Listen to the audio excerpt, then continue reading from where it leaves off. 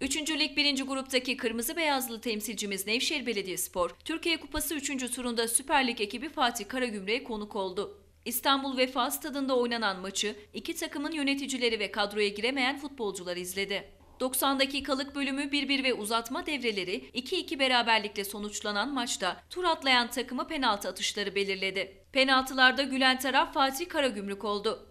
Nevşehir Belediyespor 29. dakikada Muhammed Furkan Taşdemir'le öne geçerken Karagümrük 31. dakikada Muhammed Pehlivan'ın golüyle skoru eşitledi. 90 dakikalık 1-1 biten maçta 15'er dakikalık iki uzatma devrelerine geçilirken 97. dakikada Emre Torun'un golüyle 2-1 öne geçti. 114. dakikada Fatih Karagümrük takımı ise Koray Altınsay'ın golüyle bir kez daha skoru eşitleyerek maçı penaltılara götürdü. Penaltı atışlarını Emrah Bedir, Hasan Kaya ve Serdar Yazıcı ile gole çeviren Nevşehir Belediyespor'da Batuhan Özdemir ve İsmail Hacı Hafızoğlu penaltıları kaçırdı. Penaltılarda sadece Artur'la atışı gole çeviremeyen Karagümrük, Alpaslan, Atıf, Koray ve Alessandro ile penaltıları gole çevirerek penaltılardan 4-3 galip ayrıldı. Fatih Karagümrük adını 4. tura yazdırırken verdiği mücadele ve ortaya koyduğu oyunla takdir toplayan Nevşehir Belediyespor bundan sonra sadece lig mücadelesine devam edecek.